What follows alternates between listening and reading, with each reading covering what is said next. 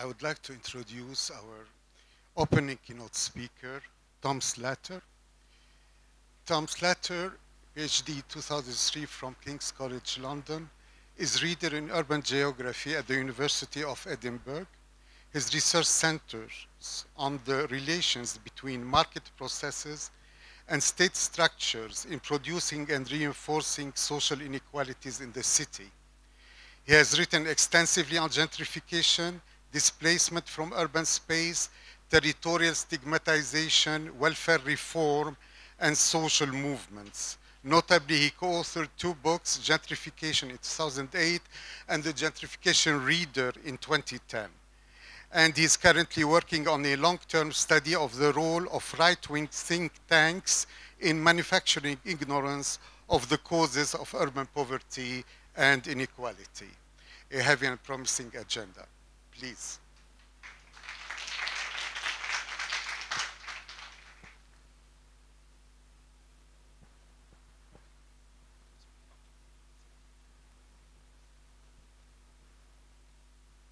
Thank you very much. Shall I try that? Okay.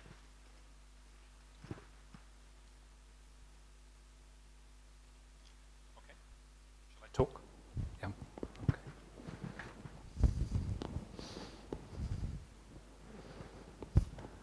Okay. Thank you. Uh, thank you, Mona. Thank you, Robert. Thank you to the, uh, the organizers. Uh, it's a huge honor uh, to open the 2015 edition of this prestigious City Debates series.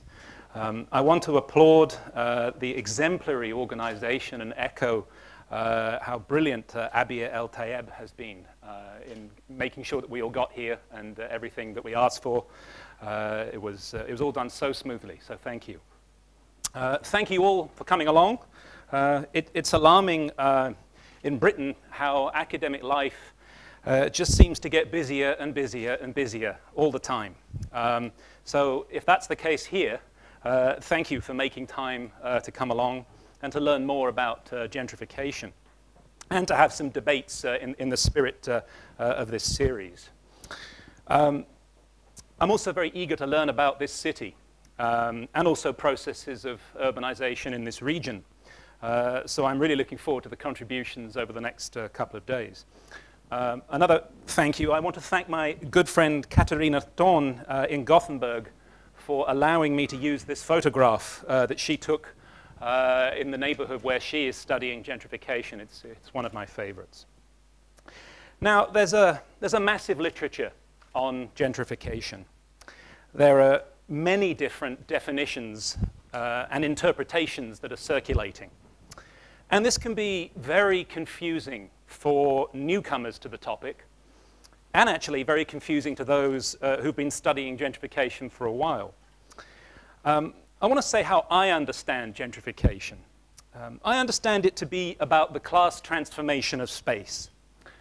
Or to use uh, a great definition by Jason Hackworth, the production of space for more affluent users. And the question of language is critically important.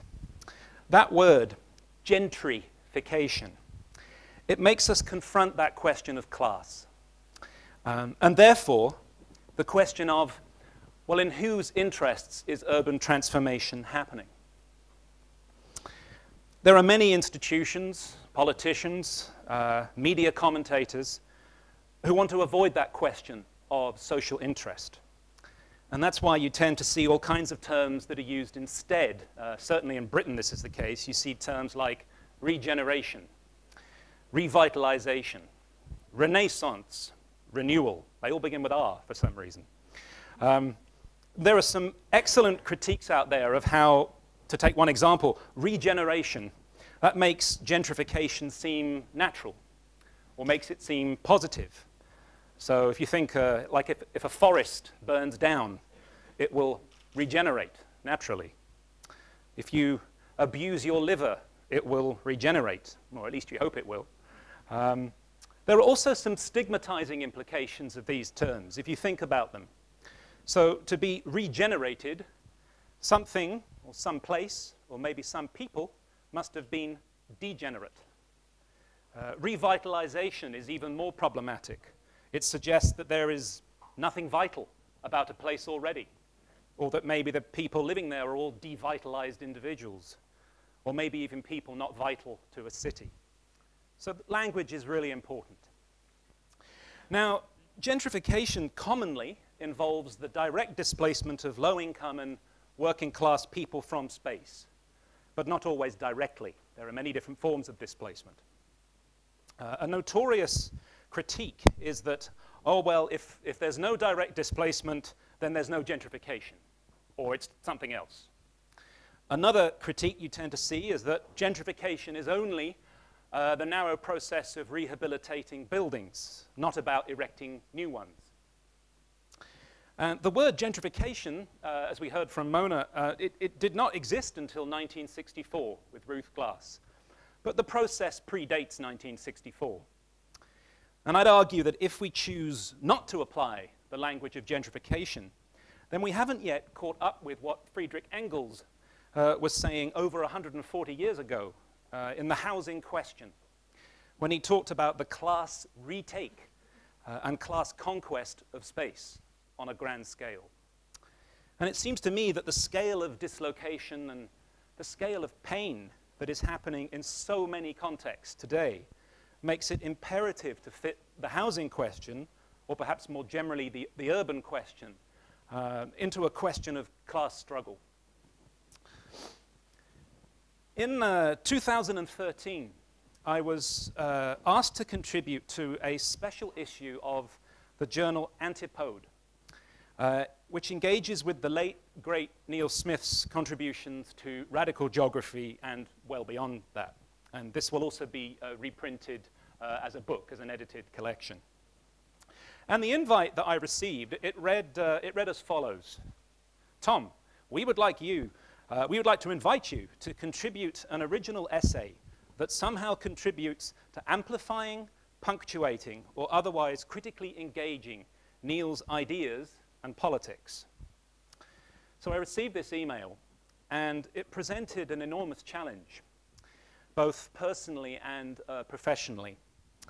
Like he was to, to so many, Neil was uh, a dear friend, uh, a mentor, and an intellectual inspiration to me. So it was very hard uh, to engage deeply with his ideas without feeling a, a huge sense of loss. And on top of this, the body of scholarship on cities that uh, he left us is so immense and so rich that I thought, well, what could I possibly write about that would do justice to it? And I know that everybody else who received the invite to contribute to this issue uh, felt, felt, uh, felt the same way. So, um, in the end, I decided to focus on his theory of gentrification, which is the rent gap. And I set out to read all Neil's work on gentrification again, and then everything ever written on the rent gap theory by others. And then I tried to uh, consider the rent gap theory with respect to what gentrification looks like today, uh, in the context of the astonishing onward march and perhaps even rampant march of capitalist urbanization, and especially under conditions of financial crisis which is having such an uneven geographical impact uh, in the world. The paper, uh, it took me 18 months uh, to write this, so I was lucky to have a very patient uh, special issue uh, editor. Uh, more on the rent gap in a minute, but I've got three, three main reactions to the literature that I covered in that time. So first, um, in terms of the debates about the rent gap, I'll tell you about the rent gap in a minute, but the debates about it, and also the summaries of the theory that I, was, I kept finding in urban studies textbooks. I found these really frustrating. Um, Neil Smith's rent gap theory is an intensely political intervention. It insists that the social value of land must be put before its commercial value. But the debates and the summaries that I kept coming across time and time again, they typically strip the rent gap of its politics. And it was not long, well, it was actually, it was the same time I was uh, doing the research for this paper that I came across this wonderful quote from Pierre Bourdieu. Um, theoretical jousting in the pages of academic journals, often with like charming erudite wit, is one thing. But the lives of the poor and the working classes whose homes and communities and lives are gentrified is another matter entirely. And the rent gap theory was designed to explain and account for the urbanization of injustice. Uh, but most of the time, you just wouldn't know that, reading the debates, and uh, especially some of the later debates, uh, and also some of the summaries of the theory. And so when I saw this quote from Bourdieu, it really kind of hit the nail on the head in terms of how I felt when I was uh, reading these debates. Secondly, the rent gap theory is tremendously helpful in challenging uh, a cottage industry of high profile, celebratory writing about gentrification that has emerged in certain Anglo American circles in the 21st century. And I've got a few examples here for you. Uh, things kind of were, were, kicked off by um, Andre Duany, who many of you who are in the field of architecture, as I'm sure you are uh, in this room, uh, you may know who he is, the new urbanist uh, design guru, um, uh, Congress for the New Urbanism. I'm sure many of you know what that is. Uh, he wrote a piece uh, in a publication printed by a right-wing think tank, the American Enterprise Institute, uh, in April 2001. And it was called Three Cheers for Gentrification. And uh, this went viral uh, very quickly. And essentially, what he argued in this piece was that gentrification is to be encouraged. We've all misunderstood it because it's the rising tide that lifts all boats. His words, not mine. Um, and then other things started appearing. Um, and I've just got, I, I, could have brought hundreds of examples. I've brought a few with me. Uh, in about 2004, uh, there was some studies of displacement that were done in Boston by an economist called Jacob Vigdor, and in New York City by someone called Lance Freeman, that used uh, evidence of low spatial mobility uh, among uh, low-income people to refute concerns about gentrification, because the argument went that if people are not moving out of these neighborhoods, then this, this, this, the displacement can't be happening on the scale that we've all thought it has. Um, these studies were flawed uh, in that basically the uh, evidence of mobility out of a neighborhood does not indicate that people are not being displaced. Because what often happens, as I found in uh, my own research on gentrification and displacement, is that sometimes when people are evicted, they, want, they do everything they can to stay where they are. And sometimes people double up in various apartments. And um, the, these studies were also based on data sets uh, that were also uh, quite dubious. But what was more problematic was the way the media got hold of this and twisted uh, some of the, the writing, um, and also um, generally did not present the cautions and the caveats that appeared in the original studies. So the USA Today, a paper with a national circulation, gentrification a boost for everyone. Time magazine joined in a few years later. Um, this was in reaction to uh, three economists uh, who produced a national study saying more or less the same thing as those studies from Boston and New York, that displacement wasn't happening because of low mobility um, uh, of poor people out of um, gentrifying neighborhoods. Uh, and again, the cautions and the caveats in those studies were ignored, uh, and Time magazine produced this with a headline, Gentrification Not Ousting the Poor, I mean, if you want to know what the article's about, we'll basically remove the question mark, and that was what Time, Time magazine had, uh, had concluded. Um, BBC, the dear old BBC, bless them. Um, uh, this, this one bothered me enormously. Um, in the UK, what's happening at the moment and has been happening for the last four or five years are government attacks on housing assistance for low-income people, which is all part of an attack on the welfare state. Um, this led the BBC to, uh, well, the, the, debate was all about whether uh, people um, are, able to uh, afford to remain in cities like London given that their housing assistance is being removed.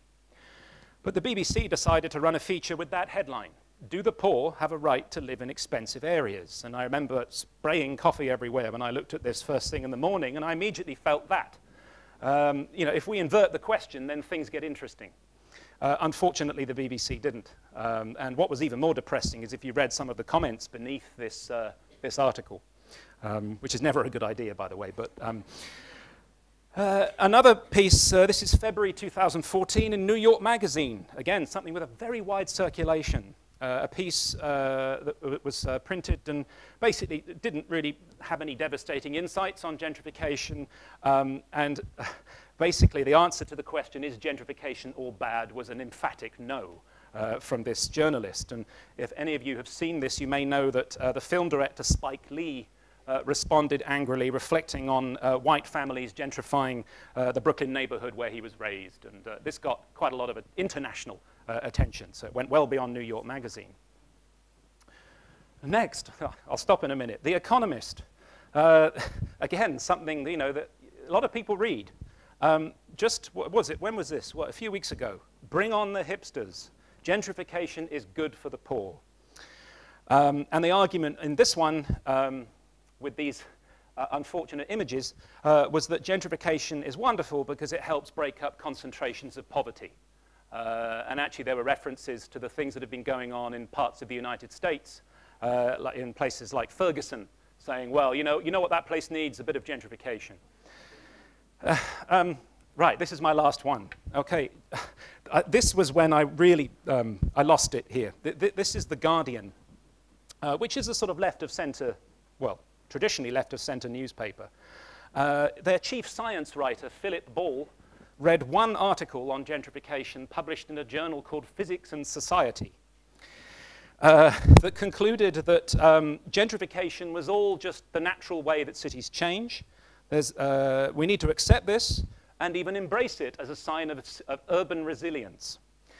Uh, and the journalist uh, here agreed, and the headline appeared there, gentrification is a natural evolution. Now, by this time, I, would had enough, uh, and so I hammered this out. Uh, there is nothing natural about gentrification. And I, um, I sent this off to The Guardian, and they didn't want to print it uh, which was unfortunate. Uh, but New Left Project, which is actually a very interesting blog, um, uh, took it and um, they, uh, they printed it. So why am I mentioning all this? Well, the common denominator of all this writing is what I've called false choice urbanism. What do I mean by this? Well, the view that we are left with when you read these uh, pieces I've just shown you is that it's either gentrification, which is good, or disinvestment, which is bad. That's the argument. That's the common denominator to all of these pieces.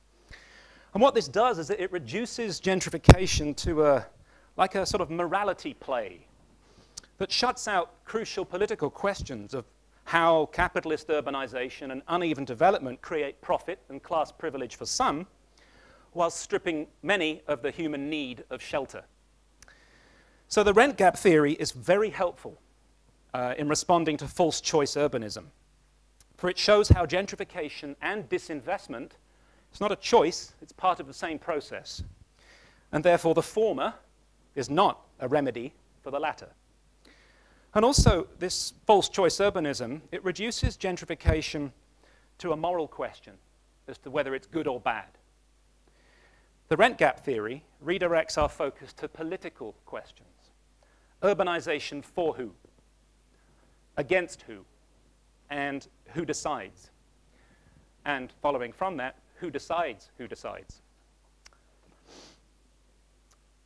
Um, third, so the third reason I found the rent gap theory, um, um, or, or, or, three reasons, uh, three reactions I had. This is the third of the three to the rent gap, reading all this stuff.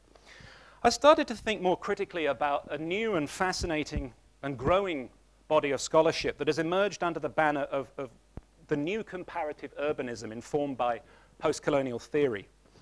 There's a piece by um, Ananya Roy in Regional Studies in 2009, a brilliant, brilliant essay that's become hugely influential already, particularly this, uh, this extract here. And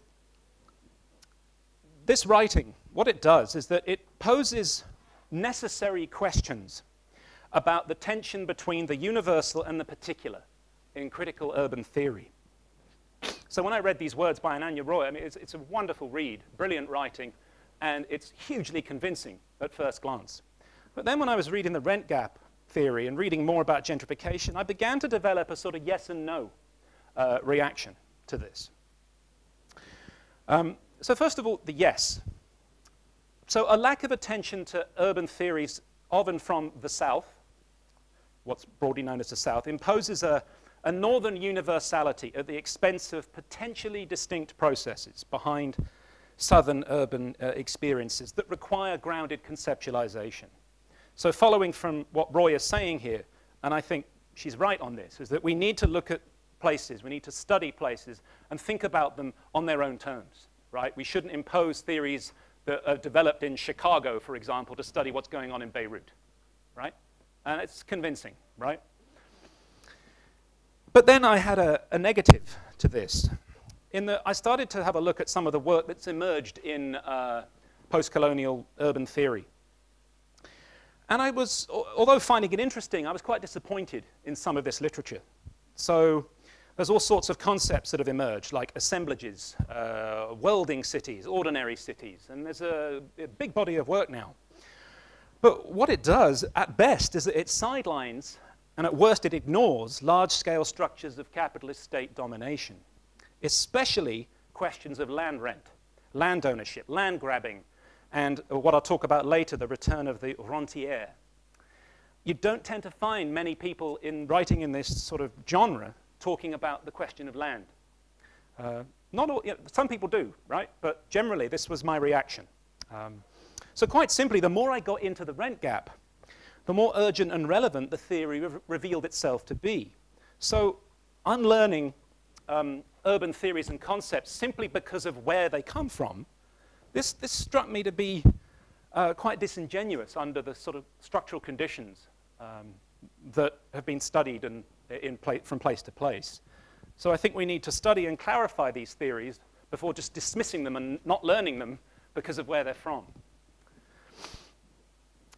At the same time I was thinking about these issues, um, I was asked by Policy Press uh, to read and comment on the final manuscript of this excellent new book that I thoroughly recommend to every person in this room who's interested in uh, other gentrification or gentrification beyond the core. Um, and this is just a, a, short list of some of the studies uh, um, in this book. I, I, I, I, can't recommend enough the chapter on Beirut. It's superb um, yeah, in this book.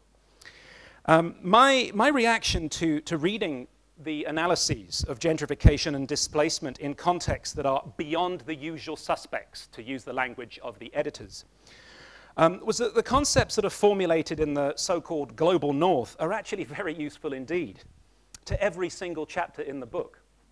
Uh, seemingly against the expectations of the editors who put this project together.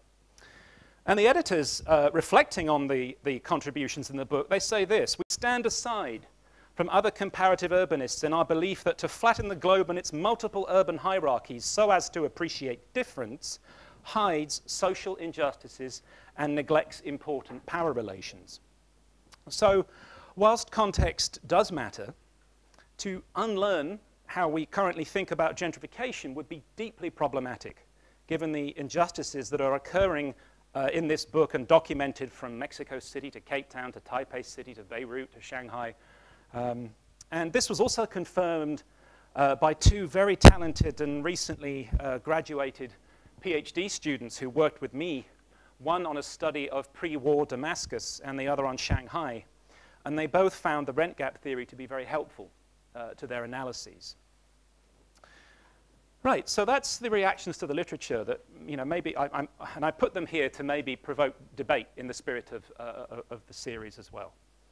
So the rent gap, what I'm going to do now is I'm going to outline the anatomy of this theory, show its distinctive features, to think about how it might be extended, um, and then I'm going to consider its relevance today. Um, and that's really the story of this paper that I produced for this uh, special issue. Probably the most astonishing thing about the rent gap theory is that it was based on fieldwork carried out for an undergraduate dissertation.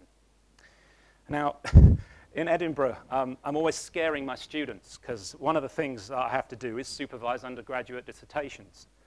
And uh, I have to give a, a, lecture on how to put together a dissertation, you know, how to go about designing a research project and that kind of thing, and coming up with research questions. And I always start with this slide and I say to my students, you know, think what you could achieve uh, with your undergraduate dissertation. And half of them, they, they, they, throws them into panic. Some of them look as if they're going to leave the room. Uh, but a few are inspired. um, so um, this was, uh, it's probably a, yeah, one of the only examples I can think of of somebody actually changing the field of urban studies based on their undergraduate work. So Neil Smith was a student at the University of St Andrews in Scotland. And in 1975, he spent his third year of uh, undergraduate studies on an exchange program uh, in Philadelphia. Um, and there in Philadelphia, he started researching the, the changes that had caught his attention in a central city district called Society Hill. And if you want to read this dissertation, um, I got hold of a copy um, and I scanned it, and it's on my website. And if you like a good read, I can't recommend this enough. It's, it's truly remarkable that this was written by somebody aged 21. Um, this dissertation, it was a response to the Chicago School ideas of spatial equilibrium and economic competition that neoclassical urban economists uh, had used to develop these models of urban land use and city morphology. Neil Smith was very suspicious of these uh, very influential models because of the consumer sovereignty paradigm undergirding them. What do I mean by that? Well, the paradigm was that the rational choices of individual consumers of land and housing in a market economy shaped the morphology of cities. That was the paradigm. And that had actually been hegemonic thought for a long time. So, middle class and wealthy consumer demand for space apparently explained suburbanization in the United States. And this was seen by the scholars of the Chicago School to be the future not of just uh, Chicago, where most of these models were formulated, but the future of all American cities. And then, actually, many of these models have been seen to be the future of all urban places everywhere. This is where you can see why post-colonial theory is, is needed, right? But the empirical reality of central city gentrification called that paradigm into question. Neil Smith just could not accept that consumers were suddenly demanding, in lockstep, the opposite to what had been predicted, and somehow choosing to gentrify central city areas uh, instead. So in his dissertation, in his fieldwork, what he did was that he unearthed data showing that some middle-class people in Philadelphia were not moving to the suburbs, and crucially, that only a trickle of middle-class suburbanites had actually returned to the central city from the suburbs. What was happening instead was that disinvested space was being transformed for middle class people via state sponsored private sector development strategies that were affecting the central city of Philadelphia and particularly Society Hill. And what this was producing was handsome profits for developers and I guess the agents of capital at the expense of working class people who were displaced from Society Hill. Now, after graduating from St. Andrews, Neil Smith moved to Baltimore to work with David Harvey for his doctoral studies. And his work became part of a much wider Marxist critique of the assumptions of neoclassical economic uh, theory, questioning in particular the assumption that competitive bidding for the use uh, of the land is like a, a fait accompli, a done deal. And one of the things Neil Smith learned from Marxist thought was the argument that the value of urban land is primarily a collective social creation. So if a piece of land located in a vibrant, growing city commands a, like a premium uh, on the market, we need to remember that collective social investments over time in the form of labor produced that vibrant and growing city. But then you have private property rights. And what they do is they allow landowners to capture most of that social investment uh, in the form of ground rent. And ground rent is quite simply the charge that landowners are legally entitled to demand for the right to use their land. The buildings placed on the land and the resources embedded within the land. And ground rent is usually received as like a, a stream of payments from tenants but also via any asset appreciation captured in resale. Understanding how ground rent fluctuates over time and across space requires attention to Neil Smith's wider theory of uneven development. His most famous book, most influential book, published in 1984, was called Uneven Development. Uh, he actually went to work with David Harvey on a PhD on gentrification, but it, the project became much, much bigger than that. Uneven development. What am I talking about here? Well, as suburbanization accelerates, the, I'm, I'm talking here about the American city, more on this in a minute. As suburbanization accelerates, as capital moves to the suburbs, central city land developed in previous generations becomes disinvested as capital moves away, and therefore comparatively cheap vis-a-vis -vis the central location that it occupies. So uneven development quite simply shows that capital is finite and cannot be everywhere. As a place gets developed, a place will be disinvested. As that disinvestment in the land intensifies, it actually creates lucrative profit opportunities for landowners, for developers, for investors, home buyers, and various levels of the state. And there is, of course, a particular geography behind this, right? So this was work that was based on studying the American metropolis. But from various empirical studies of uneven geographical development, we know that it always takes on particular spatial dynamics.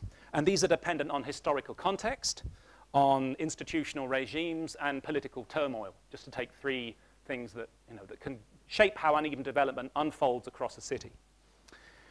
So, as capital circulates in urban land markets from place to place, we start to see uh, a disparity emerge, a divergence emerge uh, between capitalized ground rent.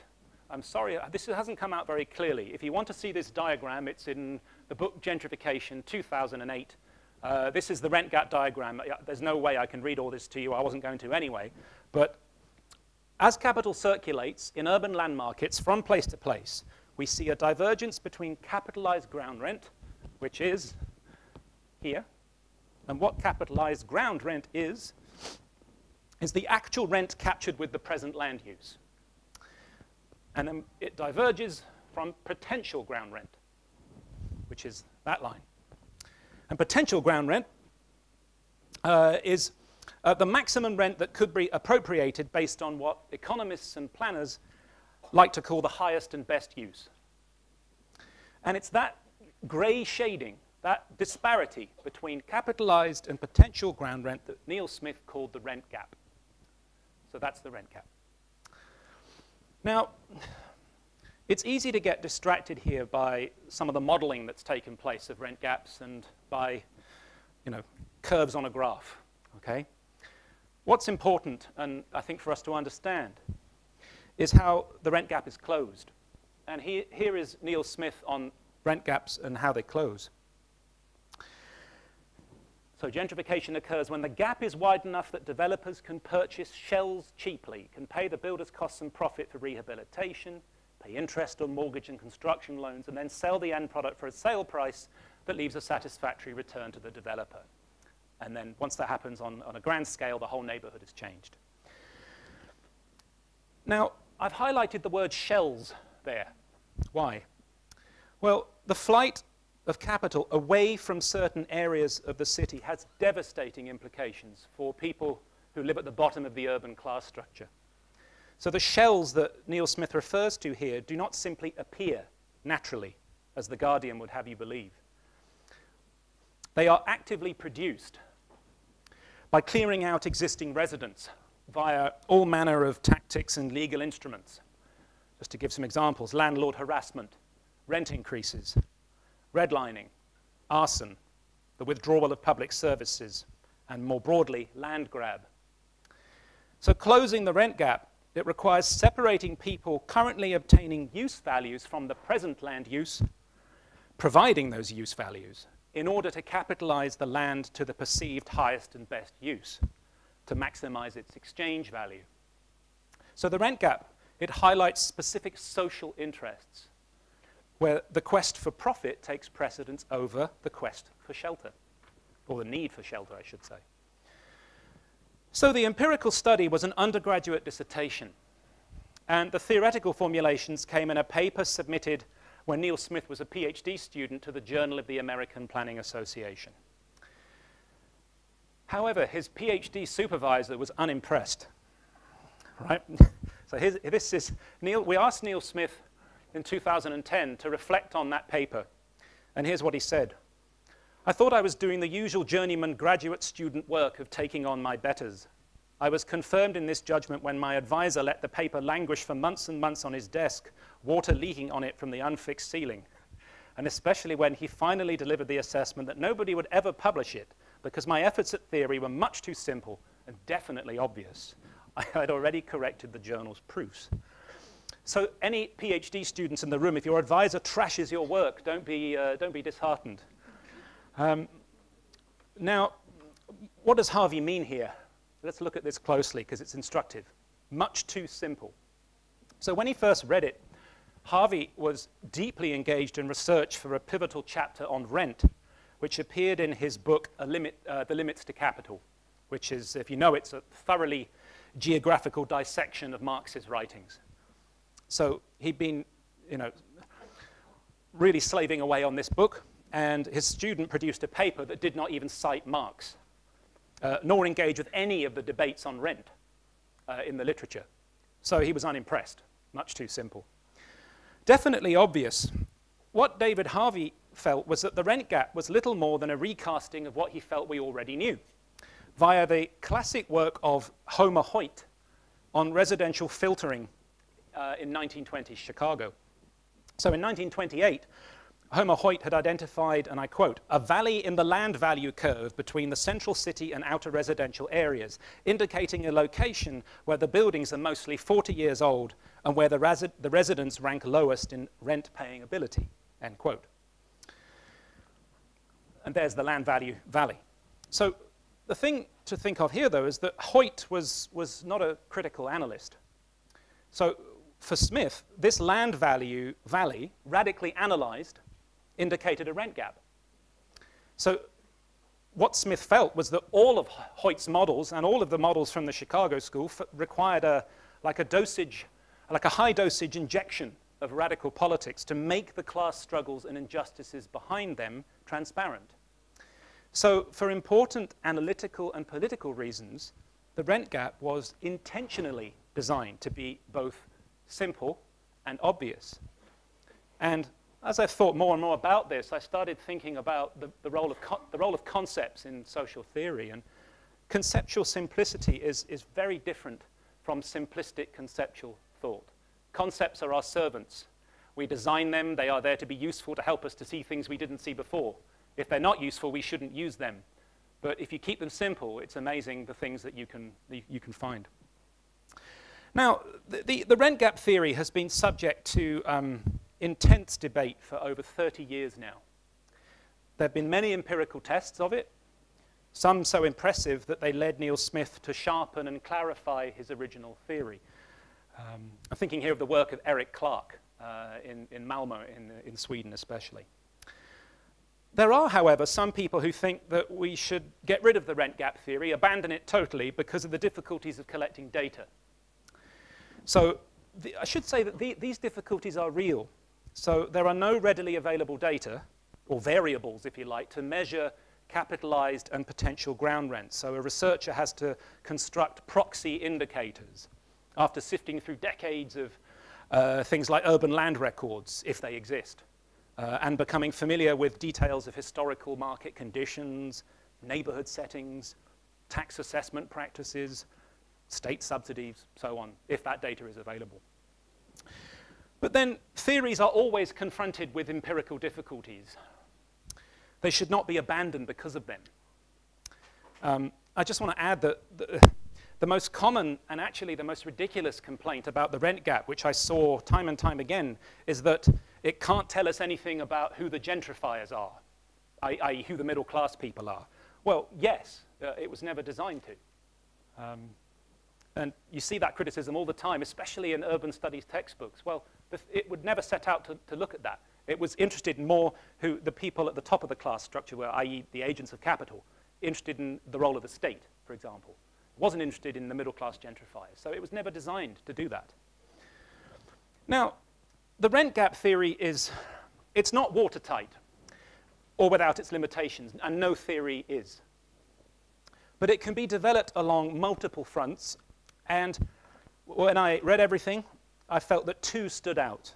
The first is the question of displacement in any or all of its forms. Now, displacement was always implicit in the rent gap theory, but not explored specifically in any of Smith's writings. But his attempt to explain the historical decline of neighborhoods via the rent gap invites a closer consideration of displacement. As we know from the work of Peter Marcuse, who is still on his way to this conference having been delayed, he was sorry he couldn't make it uh, for the start. Um, displacement takes multiple forms. And a challenge for students of the rent gap theory is to develop and extend it to explain displacement in those forms, to illustrate specifically how the opening and closing of rent gaps leads to the agony of people losing their homes. A second area where it might be extended is the question of the impact of territorial stigmatization. There's an unresolved puzzle. Why is it that gentrification rarely seems to occur first in the most severely disinvested part of a city or a region, where the potential for profit is the greatest? It's an unresolved puzzle in the literature. But it proceeds instead in working class areas that are disinvested, but by no means the, the most disinvested. So that offer, that's a real challenge to the rent gap theory. And I think there's an answer if we think about stigma. And, and Dan Hammel, uh, a writer on the rent gap, has, has offered a clue here when he says that there are many sites that could return high levels of rent, but that development never occurs because of the perception of an impoverished neighborhood that prevents large amounts of capital being applied to the land. So we need to consider the rent gap in the context of stigma. And writers in the sort of political economic tradition of uh, urban studies, they often shortchange the symbolic. Um, so they miss how symbolic systems don't simply mirror social relations, but actually constitute them. So spatial taint can so often become like a rationale for fixing uh, an area of a city via its reincorporation into the real estate circuit of capital uh, of the city. But sometimes the perception is so negative and so entrenched that it can act as like a symbolic barrier to capital being uh, invested or, this, or a barrier to the circulation of capital. So stigma has major implications for rent gap theory. Um, so stigmatization serves economic ends, but also vice versa. Um, as Bahar Sakizlioglu has told me, uh, reminded me recently, there are examples under authoritarian urban regimes where the economics of interurban competition, which have gentrification strategies at their core, are serving brutal and punitive policies that are directed at working class minorities, and particularly at the places where they live. So those are two areas where I felt that there could be much further work uh, on, on where the rent gap theory can guide our analyses.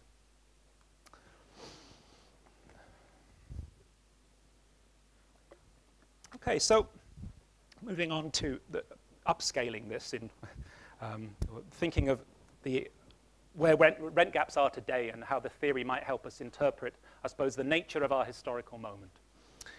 So to capture how gentrification had evolved into a, a, a, a, truly global urban strategy, to use his words, and to provide an illustration of the role of global financial systems and the deregulation of the entire global financial apparatus, Neil Smith would, he would often give the example of a 1995 construction of a luxury apartment building in the Lower East Side of New York City, which involved an Israeli developer, investment capital from a European American import bank, a Bangladeshi landlord, and a Long Island architect. But then he was guided by Henri Lefebvre's dialectical imagination in um, his famous book, The Urban Revolution. Particularly, Lefebvre's intriguing statement that urbanization had superseded industrialization as the major vehicle for capital accumulation. So Neil Smith was guided by Lefebvre, and he was acutely aware that sort of the global circulations of capital were producing extraordinary transformations of, and also struggles in, cities like Shanghai, Mumbai, Mexico City, on a scale that dwarfed anything ever seen in the theoretical heartlands of gentrification such as New York City, London. And that immediately raises the question of the production of these new urban geographies. And a strand of scholarship on this has recently uh, arrived at what Lefebvre called a problématique of planetary urbanization. And I'm thinking mostly here of the recent work of uh, people like Andy Merrifield and uh, Neil Brenner. Now, the remit of this uh, new body of work, to quote Neil Brenner, is to replace city and settlement centric population based models of urbanization with an exploration of the dynamics of implosion explosion under capitalism. So that's the sort of overarching remit of this work that is very much guided by Lefebvre's writings. Now, Andy Merrifield has recently focused his attention on the reproduction and circulation of capital on a planetary scale and has characterized the sort of the grotesque waves of forced evictions and enclosures and dispossessions and sort of primitive forms of accumulation, if you like, that have been going on. He's characterized this as the new urban question, the title of his most recent book. And he calls this neo-Haussmannization, which is, of course, a reference to 19th century Paris. And I find this new work appealing because it collapses uh, some of the more unhelpful distinctions, I think, that are out there between the global south and the global north. Sometimes these distinctions, although they, uh, at their best they can be incredibly useful to help us understand urbanization, sometimes it degenerates into this sort of academic turf war, which actually sort of shields us from seeing things uh, um, that are happening. Um, so this new work, it collapses some of these unhelpful distinctions, and it helps us move beyond squabbles in academic journals about who can say what about where. Um, and so the planetary circulation of capital in urban land markets across borders and all the upheaval that that causes does not recognize or even validate some of those rigid north-south distinctions. So it seemed prudent to consider the rent gap theory in that light. Um, because it's all about the circulation of capital. Too often, the rent gap, especially in these textbooks that bothered me, they, they, they get the rent gap gets labeled simply as the production side explanation of gentrification, which misses the process, which is all about circulation.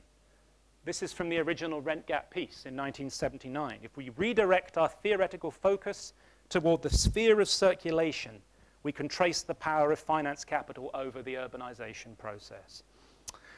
So these words were written so since, since 1979. So since this year, we've witnessed quite simply the remarkable mobilization of state power in the extension of market rule that we tend to call neoliberalism.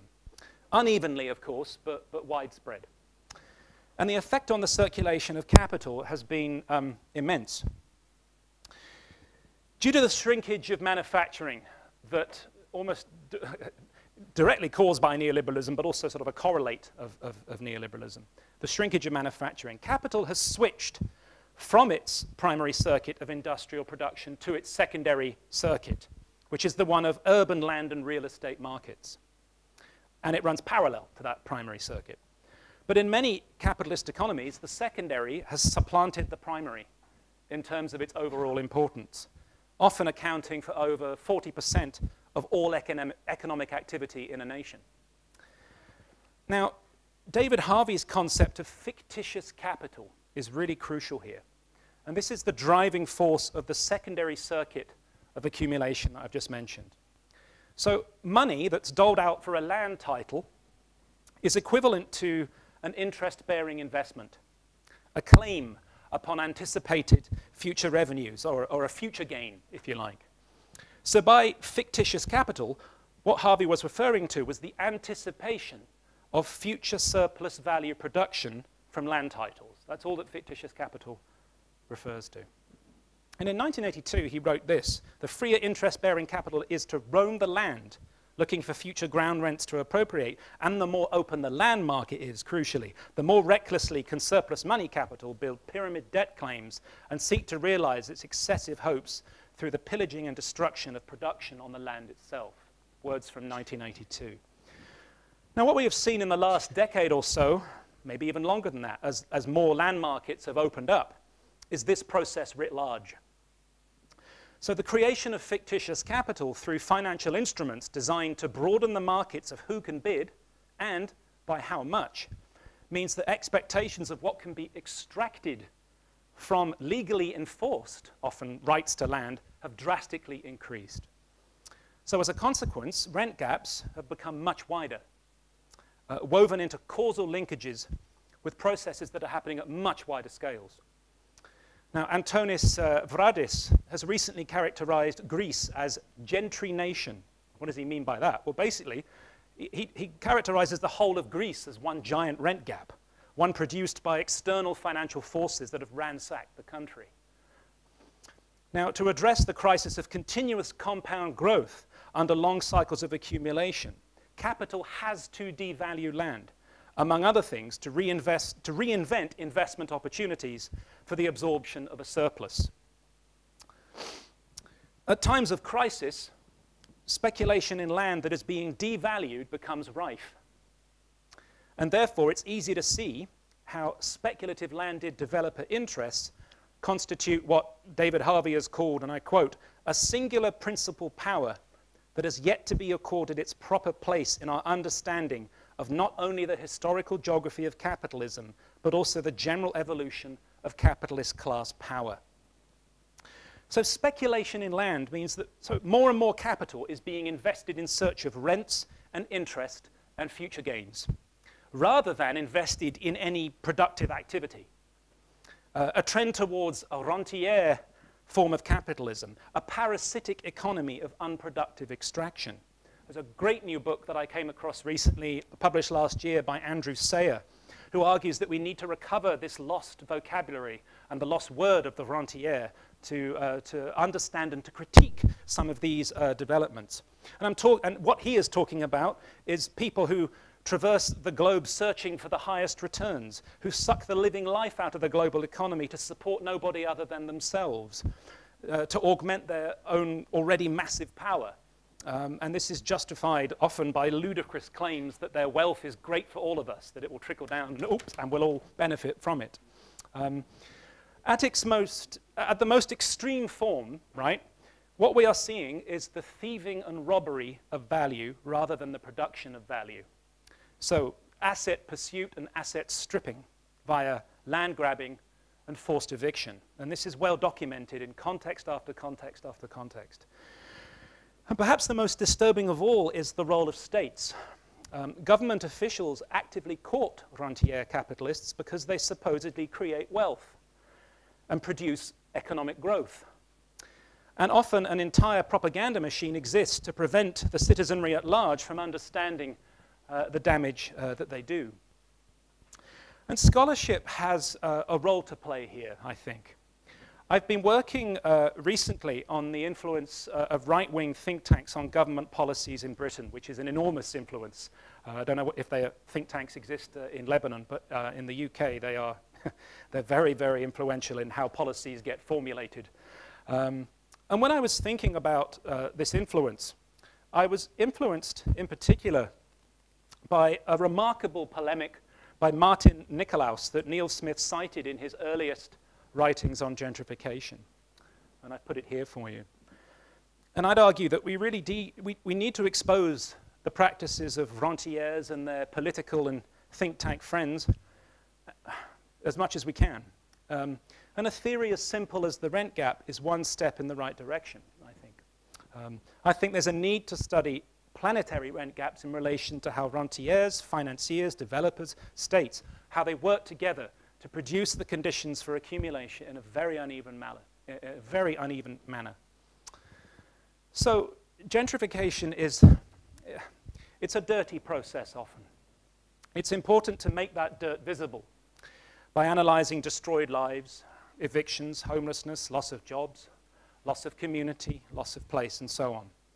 But I think we also need to study, as well as do that difficult work at the bottom, to do the difficult work at the top as well, and actually look at both sides, uh, the people who are most affected and the people who are, who are doing the gentrifying, if you like.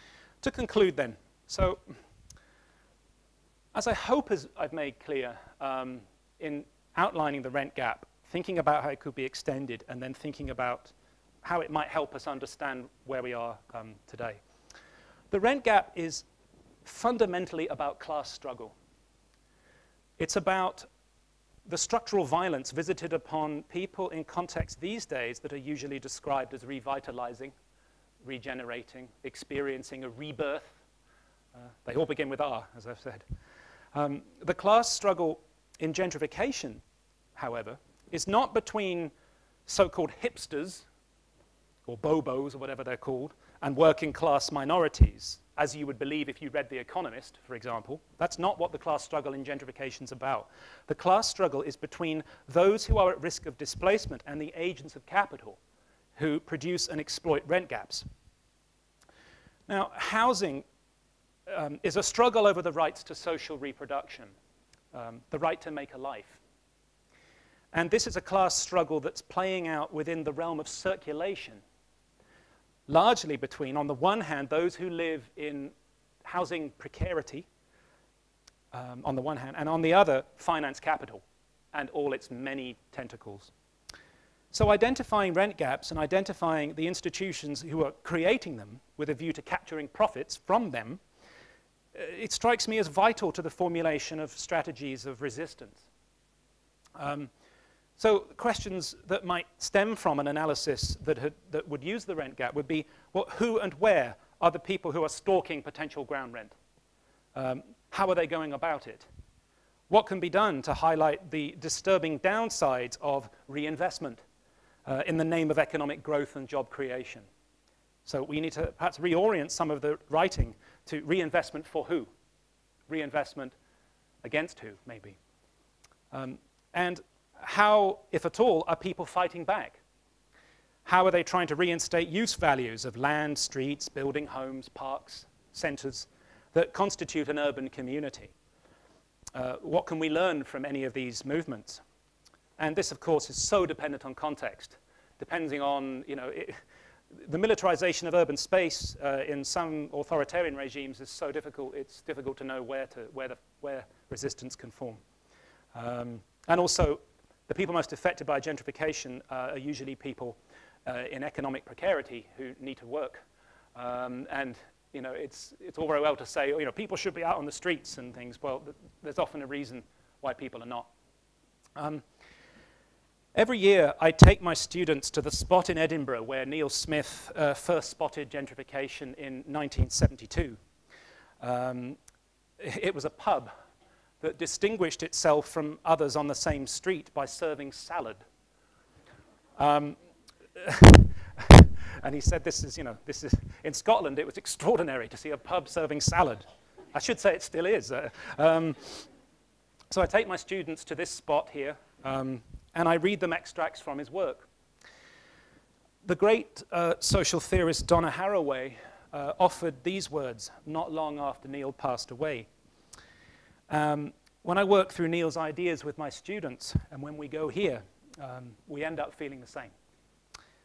I'll stop there. Thanks, thanks for listening.